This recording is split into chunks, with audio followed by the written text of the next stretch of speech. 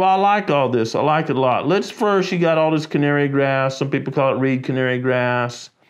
Uh, it's not helping your mission at all. It's going to lay down in winter, not give any cover. It's no food value. It's too thick for, you know, baby quail or turkeys to get through. It's just kind of a nuisance, right? I wish they'd have never brought it over here. It was it was brought into this nation. Usually, reed canary grass is in kind of moister areas. Usually, so they want you to use a. There's a aquatic formulations, which just means it doesn't spread in the water as much. It's not as big a pollutant, but there's an aquatic variety of imazapyr. Okay. I want you to use that at about 1.5%. And there's also an aquatic variety of glyphosate.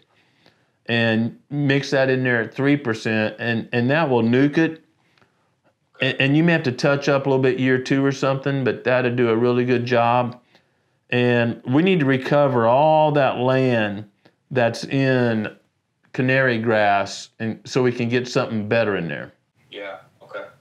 What I'd really like to do at some point is as close to the road as you can, plant a screen along the front. A lot of people use Egyptian wheat, but man, it falls over with the first snow or any heavy snow or ice or anything. But I, I tend to use a screen that has a really short, stout sorghum. I it's like almost like a baseball bat at the bottom or something. It only gets five feet tall, give or take. And then it's got some other varieties of sorghum and uh, taller grasses, and that shorter stuff is so stout it kind of props up the other. Like I say, there's other screens. There are annuals. It's kind of a pain, but they will stand a lot. You can check them out. The least expensive I found is I think it's like 40 bucks an acre. I'm going from memory, but you know, an acre 10 feet wide is a doggone long stretch. And I, I think 40 bucks an acre is a good price. You can check out that out at greencoverseed.com. Okay. Greencoverseed.com. I, I may be wrong, maybe 42 or 38, but somewhere right in there. Okay. All right, so we've talked a little bit about screening. I see some hardwood bushes along your your line to the north there, but that's a friendly neighbor, so you're not too worried about that anyway. Yep. And if you do screen the front, you're going to want to turn those edges. Uh, you know, on your north and south line, you're going to want to turn that a little bit because you know they're driving down that road, and until they get in front of your screen, they got a view of everything through there. Okay. So you got to you got to turn the edge because, you know, if they're right in front of your house, they got to turn their neck 90 degrees to see in there anyway. Where I'm really worried about is they're down there about the T on that other road and coming up through there, and they get up there where they can see pretty good. Well, you know, there's nothing screening that side, Yeah. So you need some wings on there. And, and no one likes planting every year. So what a lot of my I just had a buddy of mine. We talked about this the other day in Arkansas. He's gonna plant the screening blend I told you about. Not you know not too wide. It gets real thick, ten feet or so, one drill width, whatever. Okay. And then plant where he is, eastern red cedars, which is slow growing, but it makes a heck of a screen. If you do any pines, you you know from living up there they they self prune. So they're good to start with, and all of a sudden, boom, you're looking right through there, just like through a window. And the alders will lose their leaves, and you know it's a little bit of a shaded view, but you can kind of, you know, if I'm looking hard, I could probably pick out a, you know, if you don't plant it too thick, I can see a deer body through there and know there's a deer out there. Okay, so when I look at a property, I first start, if, even if I'm hunting or whatever, I'm looking at food, cover, and water. And water is almost always the most readily available. I mean, water is a non issue for you, right? You got swamps and rivers and ponds all around you. So I wouldn't, Yeah. you know, I wouldn't spend any resources trying to add water in a strategic place. And, and then food, and in the summertime, food is a non issue.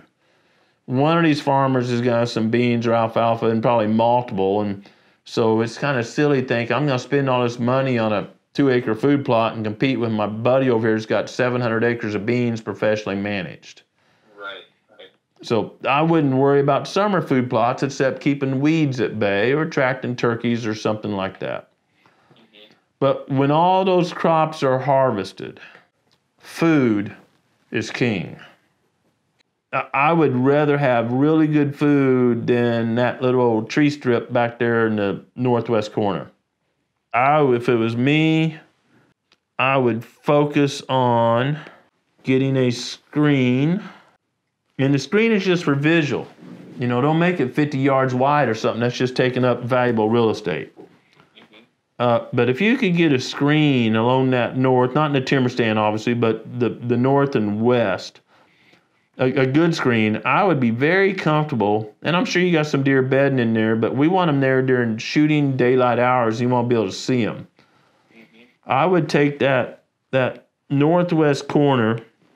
Looks like what I've got drawn here is three plus minus acres, and I might even grow it in the summer. Uh, grow a blend of stuff that has some milo and some you know some grains in it. You can probably get away with this because there's so much food around you. And then I would overseed it and let that mature. I'd plant it early as the soil temperature allows and really fast maturing stuff, which may not produce as many tons per acre or pounds per acre, but then let it start maturing in 30 days or a little bit more before your first expected frost date. I would overseed that because that's going to start yellowing up and maturing a little bit. I would overseed that with, you know, your typical winter wheat and cereal rye and brassicas and stuff. So you got grains and greens. I want as much tonnage in there as I can get. Okay. I want as much tonnage because you know you don't want something that's you know three inches tall and four old nanny does get in there one cold night and wipe it out. Because me, you know, your house and your shop and all that's a a bit of a screen. I. I, I I have a food plot right behind my house, and I love looking out my window and seeing if there's a deer or turkey out there. You could get another three. I'm drawing quick here. I'll clean it up later, but three, three and a half acres depending on how much yard you want. I don't like mowing grass myself. You got a big, beautiful yard in the front, I see. You know, I'm going to draw it, and then you you know you need to change it, but you know, you give yourself whatever, you know, 20, 30, 40 yard yard out back or bigger in a little circle behind the house, and you have wings of a food plot come down on the north and south of your your dwelling area there. But anyway, get the three acres there. Now you've got a bottleneck coming off your neighbor's land into the timber there. I left that little spot there. and I'm going to tell you what I'm going to do with that. And now you've got more food, and all of a sudden now you probably got more food, quality food, than anyone else in the neighborhood during hunting season. Mm-hmm. It- and, and, and I'm going to define that as once the crops are harvested. So, you know, start of hunting season, you probably still got some crops around you. But once those crops are harvested, the deer in the neighborhood want to travel all those other wood blocks we talked to in the swamp and all that and get to your place. Kind of wondering if we didn't take five or six acres there, you know, if, if you do in fact choose to make firewood out of some of those trees and you kill the canary grass, which again is job one for me Yep. and come back about five acres there from the road back and make that a bedding area. Okay. It serves two purposes. It's going to be a helpful screen, right? Now you've got some width to it. They're not just looking over 10 feet of five foot tall grass, they're, they're looking quite a ways, and that's going to diminish the view, right? And you could even leave some of those trees in there, but you're going to need to burn the switchgrass, which would probably really harm those white pines uh, getting that hot. But you could let that naturally happen if you just want to plant the grass in between the trees. I'll leave that up to you. Your mama, mama might not like looking at some dead tree skeletons out there, but I think I would like to make that front part. I want to use all the land we can. I think I'd like to make that front part cover. And I think you'd be amazed in hunting season, not necessarily in the hot part of summer, but in hunting season, how many deer will bed right there and you won't even know it and then start scooting back to your food plots 30 minutes before dark. Mhm. I want to take roughly a 40 yard line off your southern border and carry that switchgrass. And I would not plant 100% pure switchgrass because it gets so doggone thick that deer don't like to use it. I'm sure you've experienced that. I plant simple grass blends. Some people fancy them all up. I want them feeding where I can see them. I want them bedding where I don't, no one else can see. So, for example, I tend to plant about 20% switch, 40% little blue, and 40% big blue. And that makes a kind of a mosaic. And so, you know, if deer want to get out of wind or in that middle of that big switch, if they want that radiant sun, they're laying right next to the switch and in that little blue where the sun can get to them. And you're not planting little spots. You just throw it in there and it will it will happen naturally, I promise. Okay. But that would be about an acre and a half, an acre and a half, two acres of land. And what we're doing is making a travel corridor going up to the big food plot behind your house. So they're not, and that way they get there much earlier than cutting across all the bare ground up through there. If you plant that front portion, if, if we develop cover, I don't care if it's trees. I mean, if you get really amb- ambitious and you want to plant a bunch of apples and you know cold hardy things up through there, that's fine. If you want to make an orchard off the front, but you're attracting deer to right by the road, and I never like doing that. Mm-hmm. So I like to make bedding by the road. So you got a little bedding area up there, and then you could either make your orchard between the pond and going towards that bedding area. Orchards are a lot of work. Never kid yourself. In your area, there's going to be a lot of herbicide drift going on, Yeah. and fr- fruit trees don't do well with herbicide drift. Uh, but I, I think I'm wondering here if you make a nice cover area up front, you got your mounds and whatnot out there. If we can't, because I mean, I'm just telling you, food is king. Yeah. You got cover up front. What if we come on the edge of that driveway and and we just get about a little two acre food plot between the pond, not away up not all the way to the pond, but you know, east of the pond, going back towards the cover block, and put a food plot right there. Now you can plant some different things and do some stuff. And you got a nice yard, and we're not gonna do anything between your house and the pond, leave that all family space and stuff like that and now you've you've got some food stacking up now, and and you know that once those crops are harvested, there's going deer going to food, Yeah. and I could imagine several several deer using your property way more than what would use a normal forty because you you now have the limited resource. You have the grocery store. I think what I want to do on that north side is have continue your native grass blend. You know, I don't know if you're familiar with grass. It looks good. It's pleasant to look at. Critters are going to use it. I think I would carry that along your driveway to the north, and then stop about where your food plot border is, and keep that food plot area there. And and that just gives deer another they can go and and more importantly if you so if you've got a north wind or south wind or you know northwest southwest now you can hunt either of those travel strips up through there without busting deer Yeah.